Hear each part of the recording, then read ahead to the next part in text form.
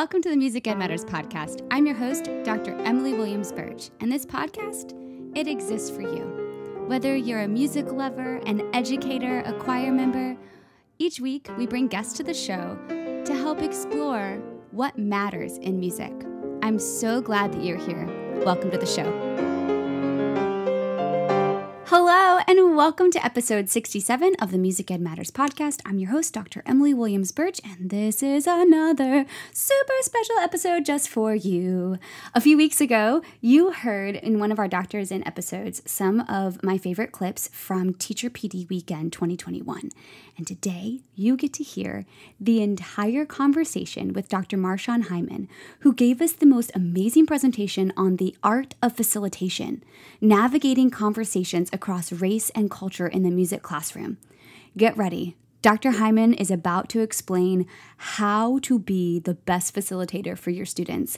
I sincerely can't wait to hear what you think about this one. Don't forget, if you want to catch all the presentations from Teacher PD Weekend 2021, or be in the know for everything happening for PD Week 2022, or just be a part of the conversation, you can totally join us over at Patreon.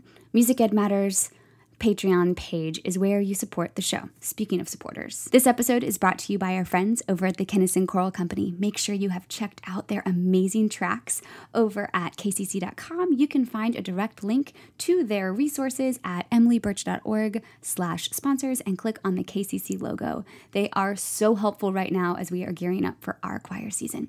Without further ado, I cannot wait to give you this replay from Teacher PD Week 2021 Dr. Marshaun Hymon, and the art of facilitation. All right, we are starting session number three, welcoming Dr. Marshaun Hymon. It's great to see you, Dr. Hymon. Hey, good to see everyone. I'm so excited that you can be here sharing um, the art of facilitation thanks to your amazing work with True Change Alliance. We have a few people live in Savannah. We have some people tuning in across the country, and it is all yours, my friend. I love it. Thank you, Hey, everyone. Good to see you all. My name is Dr. Marshaun Hymon. I am a former high school choir teacher, taught middle school and children's choir as well, and have now kind of entered into the diversity space. And I'm exploring this intersection of music and diversity and how we might support educators in advancing their practices in the classroom. So the session today is called The Art of Facilitation, uh, Navigating Conversations Across Race and Culture in the Music Classroom. So this session might feel a little bit different. It's not going to be heavily music focused. I'm going to ideally give you a new skill that could then integrate into music as you go back into your classrooms over the next year.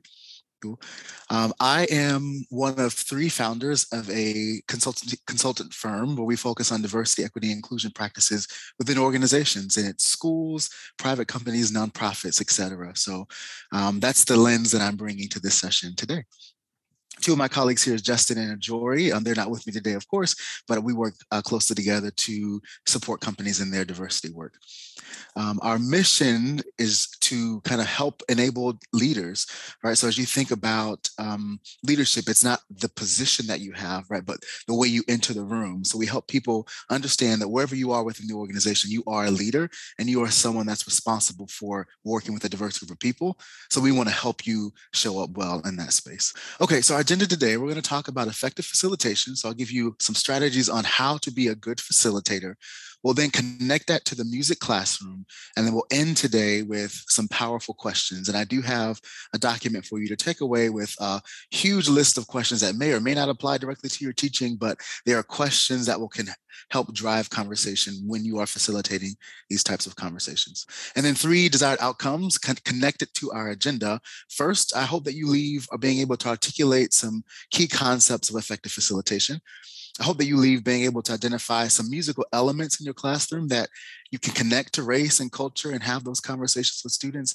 And then lastly, be able to employ some powerful questions when you are working with your ensembles. Okay, so we'll start first by quickly talking about the difference between teaching and facilitation.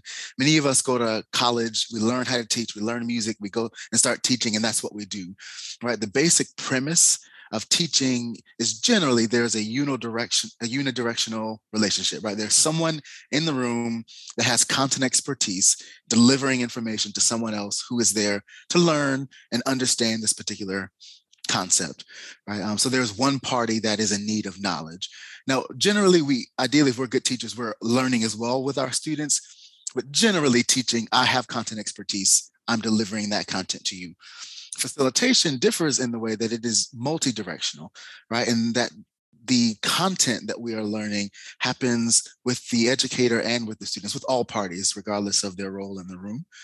And then there's this underlying idea that the knowledge is already present in the room, and that as a facilitator, it's our job to simply hold space and kind of create a process that brings out the learning. Right. So teaching is I got the information, I'm giving it to you.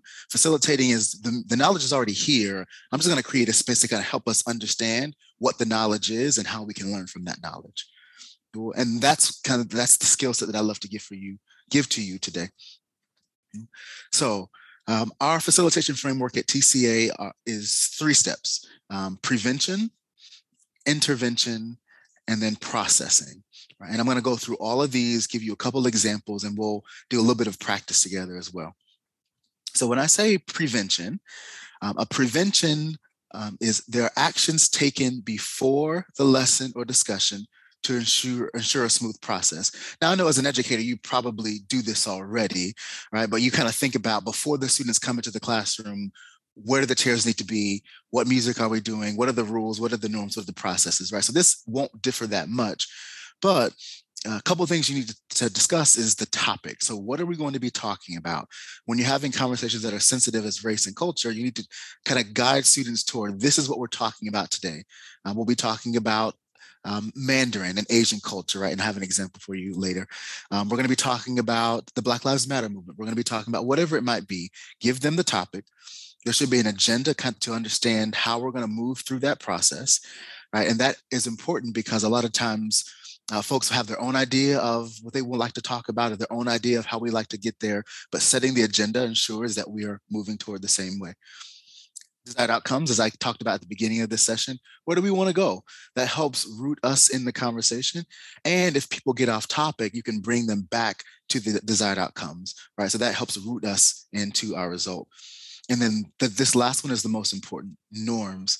It's so important to talk about norms and the behaviors that we expect of each other when we're entering conversations. These might be rules in our classroom or kind of expectations in our classroom. When we talk about facilitation, the, the term is norms, right? So it's one person one person speaking at a time. It might be both and thinking. That's one of my favorite norms when I talk about race, meaning that there are many things that can be true at the same exact time. And it's important that we hold space for those multiple truths.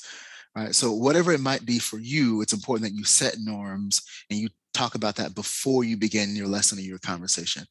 So those are a couple topics for preventing anything from happening that you do not want to happen. Second is the intervention, right? So we do our best as educators and facilitators to create a space, to set up norms, and the, the physical space is there. We're on the same page. We understand where we're going hopefully things go as well as we hope. And sometimes they don't, right? So it's also important that we know how to intervene when things are not moving in the direction that we'd like. So the simple definition is actions taken during the lesson or discussion to help us get back on track. Right? There are a couple techniques that I'll give you for interventions. One is a process suggestion. Um, a lot of times as teachers we'll say, hey, that's not where we're going. We're going to get back on track. Let's go. Right. And also depending on how much time we have, we simply will redirect and keep it moving. Right. When we think about the facilitation space, it's important that we understand that there's expertise there, right? That we're all learning. So it's important that we suggest a process. So, for example, uh, someone makes a comment that's really off topic. It's not really where we want to go.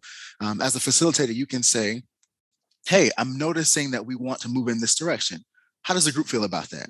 Um, and let, let, the group kind of chime in. Are we on the same page? Do we not want to move that direction? Do we want to go somewhere else? Right? We make a decision together. And then these two sub uh, sub bullets here is that we gain agreement, right? We're all on the same page, or at least the majority of us on the same page. Great, we'll move in that direction. And you've got to enforce that, right? So someone in five minutes comes in and has another off-topic comment, you can remember, hey, we just agreed a few minutes ago that we're going to move in this direction. I want to remind us, right? So you make a suggestion, you gain agreement, and then you enforce that throughout the session. And there are times where this might happen multiple times, right? Hey, I'm, I'm sensing we want to go in this other direction. How do we feel about that? right? Your job as the facilitator is to kind of keep us moving on the same page. A second technique is to ask or say what's being perceived, right? So sometimes when you're talking about sensitive topics, people might get nervous, might get quiet, um, folks might be stumbling over words. So as a as the facilitator, you can say, "Hey, it, it seems that people are getting a little nervous about this topic. Is that true?" Right? And that is a good way to generate conversation. And someone say, actually, yeah, I'm a little uncomfortable, and this is why, and get folks to really be honest and authentic about what they're talking about, right? Um, sometimes we're afraid to kind of name what we're saying, but as a facilitator, name it and let people respond to it. Now, this third one is one of my favorites. Um, it's called boomerang. a boomerang can be used for two purposes. And when I say boomerang, that means to throw a question back to the group, right? Or so someone asks you a question, hey, um, what is this particular culture mean, etc. Um, if you don't know the answer, you can boomerang it back and say, "Oh, interesting question. What do y'all think?" right. So it's a great technique when you don't know the answer to just throw it back to the group. Um, boomeranging also helps engage the room. So even if you do know the answer, and maybe there's only two or three people that are engaging with you, you can throw it back to the group, boomerang it, and hopefully someone else will chime in and kind of engage with you. All right. So again, boomerang is two reasons. If you don't know the answer, throw it back. Hopefully someone else in the room will know it, or you want to engage conversation. And then lastly, as you kind of gain expertise in your ability to navigate different conversations, you can choose between these different, uh, these, these last four here. Legitimize what someone just said. Oh, thank you, Billy. That was really, that was great. That's actually correct. Um, you can accept it without legitimizing or challenging. And you can say, thank you for sharing. I appreciate that kind of just allow it to sit in the room. Um, if you do know that something is incorrect or something that is offensive to another community, challenge it. Um, say, hey, actually, that could be offensive to X community, and this is why, right? And then you provide some some explanation, or defer. If you are uncomfortable with the statement, if you don't know the answer, um, you find a way to kind of Great, thanks so much. So, anyone else want to share, right? And you kind of just move forward and defer from that, right? So, those are techniques as a facilitator you can think about. Um, that's true. I'm going to legitimize that statement. I'm simply going to accept it. Uh, that's not true, and I'm comfortable enough challenging and explaining why I'm going to challenge it, or I'm really uncomfortable. I don't know the answer, and we're gonna we're gonna move forward, right? and these are techniques also as a teacher that you can employ. Cool. So, um, we talked about preventions and we talked about interventions. Now I'd love to just pause real quick and do um, a quick practice round. So I'm removing the practice round. Sorry to interrupt. I know you are enjoying this so much, and I bet you're taking fabulous notes because Dr. Hymon is the best. But this practice round, Dr. Hymon gave us a situation. He gave us a scenario that we worked on as a team. And one of the people that was there went away, didn't hear our conversation, and came back. And we that created the situation acted as students, and the person who went away acted as the facilitator and put into practice some of the strategies we had learned. And then, as a group with Dr. Hymon, we unpacked the entire scenario, screenplay, whatever you want to call it, situation on what worked, what didn't, what could we have done differently, what could we have done better. It was a really cool hands on application of what we had learned so far in this presentation. If you want to see that, jump over to patreon.com slash musicedmatters and you can see the entire thing. But for this purpose, you as listeners, it didn't make sense to listen to that whole segment. So now you know what we did as our little practice, and we can jump right back over into Dr. Hymon and more skills as we learn to be the best facilitators for our students and our singers. Okay, so and then the third uh, step is to process, right? So we've thought before our session or our lesson how we're going to set this, pro- uh, session up. We're going to prevent some things from happening. We've talked about intervening. And now, after you finish, whether it be a lesson, a unit, a performance, a trip, anything, it's so important that we pause and help students process. And that definition is supporting students in making sense of and or learning from their experience. Um, so often students process with each other and they kind of take things away, but it's so impactful for the educator or the facilitator to say, let's actually talk about it and apply that to our next steps and apply that to our lives and our journey. A couple techniques, um, individual reflection. So having students just pause and journal or kind of think through what just happened. And then of course, sharing out. Um, small group talk is always good. We know students want to talk to each other. So finding ways to have them be productive in their conversation with each other is great. Uh, multimedia experiences, so listening to a recording or watching a quick video or um, a dance or something, kind of allow them to see something or hear something and using that to kind of reflect on the experience. And then powerful questions. And we're going to talk a little bit more about that in our third section. Um, but powerful questions are a great way to really evoke conversation. Um, so quickly revisit, you want to prevent it, you want to intervene if necessary, and then help students process through their experience at the end of that conversation, lesson, unit, whatever it is that you might be culminating um, in your classroom. So how does this connect to the music classroom? There are a couple elements that I love to kind of talk to you about. Um, first is thinking about composers, and ideally this will connect to any uh, elementary, middle, high school, band, course, orchestra, whatever it might be. But thinking about the composers that you're bringing into the classroom. So, what are the background and upbringing of those composers? Uh, what are those composer demographics? Are they a person of color? Are they a white person? Uh, where do they? Where did they live? Where do they currently live? Um, are they uh, a part of the LGBTQ plus population? How might these pieces of information influence the way we teach the music? How might it influence the way we um, perform the music with our students right so talking about this as you introduce pieces of music to the to the classroom is really important and then similarly with poets um, kind of how they come up what's their background what's the style of poetry how does that text impact the music that the composer wrote, right? And having a conversation between the poet and the composer. I think generally, but also how does race then come into that? Is this a Black poet? How might that influence the music when did they write the music? Is it 2021 was it in, the, the 50s or the 40s and unfortunately today that might not be there might not be a difference in the experience of, of that particular poet. Um, but talking about that and how that influences your performance is, is really important and then, of course, the genre or the style of music. All right. So, what's the origin of this genre? What does it come out of? What does it flow into? Um, specifically, thinking about jazz or um, gospel or hip hop, or kind of what are the different influences, and how does that influence the way we talk about it and and perform? And then I was thinking about this in the elementary classroom, but the origin of instruments, right? So as you introduce new instruments to your students, what cultures do they come out of? How are they made? How does that influence the way you think about the music and perform it? Is there dance that you can use to kind of to solidify or introduce a different culture to the classroom? Instructional strategies are important. So mm, often we privilege the ability to read music, right? So we drill solfege, we drill all these different um, strategies to get ready for a music performance assessment. And not often do we privilege listening or singing by ear, right? Or improving um, or movement within our rehearsals. So when we begin to introduce a piece of music to our, our classroom, do we go directly to solfege music reading? Do we pause and just listen? Do we do you have someone improv and kind of just throw something in there and see how they feel about the music? But what are we actually bringing in, and how do those how does that relate to different cultures, right?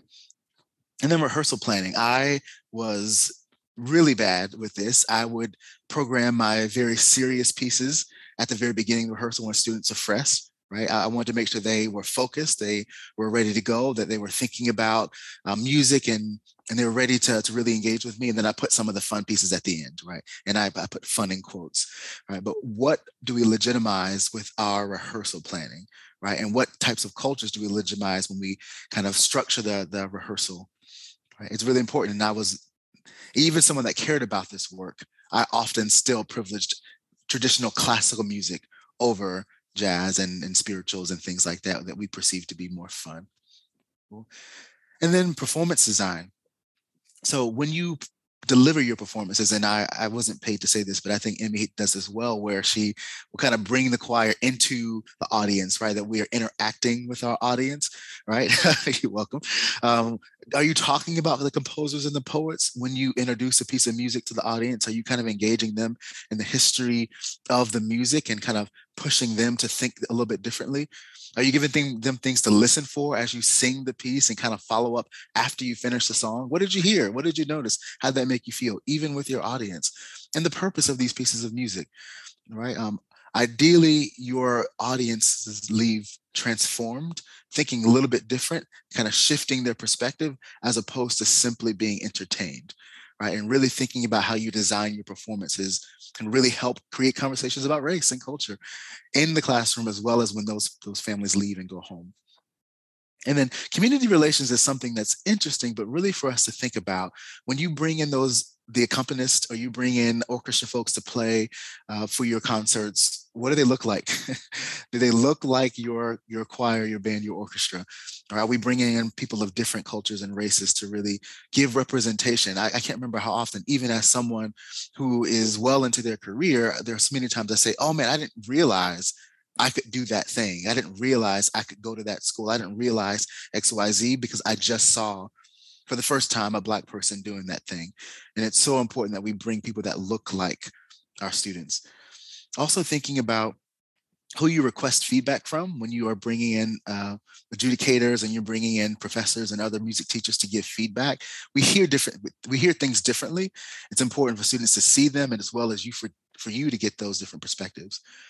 And then often we will perform at churches or cathedrals for the sound quality, but not often do we talk about the church or the, the, the cathedral and not from a, a, religious perspective right? If, if that is doesn't fit in your community talk about the history right? Talk about the, the actual physical space talk about the buildings talk about how they were built and kind of the differences in those buildings and how it creates a, a, a new sound right? But kind of thinking about the community, how we engage with the community, how we go out into the community is also something that will help engage with conversations across these different topics.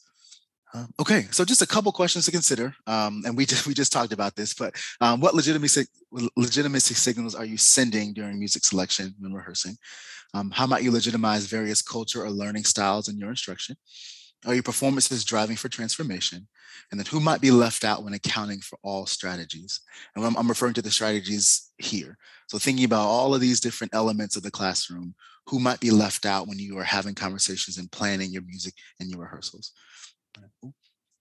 Okay, so powerful questions. Um, what are powerful questions? Um, they are open-ended questions that create dialogue. Um, if you ask a closed-ended question, especially with a high school student or someone even younger, you probably will get a yes or no answer, right? So ideally, opening up the question to create a larger explanation will generate conversation with other students. Powerful questions prioritize discovery, right? So a lot of times as educators, we ask leading questions to get students to a particular answer or outcome a powerful question in the facilitation context kind of prioritizes the, the learning, the experience, and the processing that students will, will go through. And then also supports the ability to process their experiences, right? So kind of thinking about that trip that you just took, thinking about the piece you just sang, thinking about the score that you received, thinking about the poet that you just talked about, that helps students kind of process through that entire experience. They're useful uh, because they explore your values, beliefs, and motivations, right? So ideally, as educators, our students leave our classrooms not in the day, but at the end of the year or the end of uh, the program with you, a kind of a different person, right? They're going into life with a different perspective, right? So asking these questions and having these conversations will help them explore what they believe, what they value, how what motivates them. It slows down the impulse of thinking by processing your emotions. And even as an educator, asking yourself powerful questions makes you pause to, to say, okay, is this what I want to do? Is this the best next step? Does this help? Right. And as you see here, explore possibilities before making that decision. Help synthesize learning from experience. Right? Um, these last two are my favorite. Powerful questions are useful because they identify previously unrecognized strengths a lot of and we're going to do an activity right before we end today but it helps you realize oh i am good at that thing or oh i did enjoy that thing or oh i might want to explore that again or that was fun even though we didn't get the score we wanted i had a, an amazing time because of these particular reasons all right and then it also strengthens the student's skill set over time. So ideally, you asking these questions will help students take these questions away. They can ask themselves these questions, right? And then begin to process on their own. A lot of times, um, I, as an individual, and even the students that I talked to for my research, were having little small epiphanies with me on, on the phone, like, oh, you're right. My music teacher does do this thing, or oh, that was fun, right? And they were processing with me. And as educators, if we do that regularly and sooner, how amazing would they be once they leave our classrooms? Hi, it's me again. I'm so sorry to interrupt. After this point in the presentation, Dr. Hymon had a couple handouts for us that provided questions to initiate really great conversations, and it gave us kind of this choose your own ending um, template for how to actually practice the art of facilitation. Again, if you want access to those documents, patreon.com slash musicedmatters. But you still get a lot out of this presentation. Listen to how Dr. Hymon wraps this up and really seals the deal as we've learned in this session how to really become facilitators and engage our singers and our students in new and thoughtful ways. You've given us a huge toolkit of resources now all of a sudden I'm like, wow, there's choose your own endings every time I open my mouth. Yeah. yeah. Um, I, I, love these reflections, these recommendations. It's and that's the beauty of facilitation. There's no one right answer, right? It's based on the content, based on your your level of expertise with the content is based on your relationship with the students in the classroom um, there might be a student that you have a really strong relationship with and you can directly say we're not going to use that language right and they'd be okay with that right and there's someone that you might have to kind of uh, now let's use this language right next time we talk. So yeah, thank you so much for those reflections.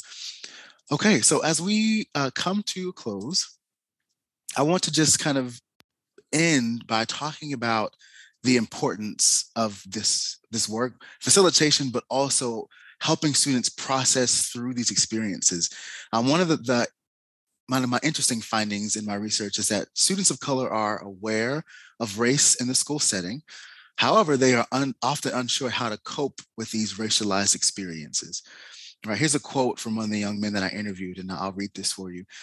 It says, also, on a different note, most of the people, most of the people in my choir room are Asian, and they and the other people are in my academic class are. I don't think there are any black people in my other classes. I think I'm the only black person in every one of my classes. And I asked, well, how do you deal with that, or kind of how do you navigate the situation? And the student said, just let things slide off my shoulder, I guess. Right. And as the interviewer, I wanted to like have another conversation with him, but I had to continue, continue on the interview.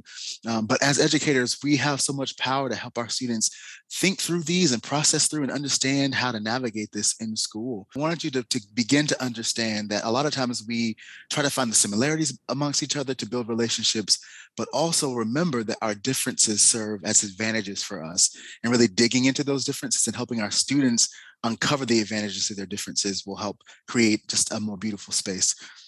So that's all I got. oh, Thank you so cool. much, Dr. Hymon. This was awesome. Of course. Thank you so much. I hope that this will be helpful to kind of integrate some facilitation into your, your teaching and there are there's a takeaway for you as you move forward. Episode 67 with Dr. Marshaun Hymon, full of information on how we can become the best possible facilitators for everyone in our space, in our choirs, in our classrooms, in our ensembles, whatever it is. I hope you've enjoyed this. You can find out more about Dr. Marshaun Hymon and his awesome organization, True Change Alliance, if you go to emilyburch.org slash sponsors. You can click on the True Change Alliance logo and it will take you directly to their website. Of course, you can catch this entire recording and all the other replays from Teacher PD Weekend at patreon.com slash musicedmatters. But enough housekeeping. Really the important stuff right here.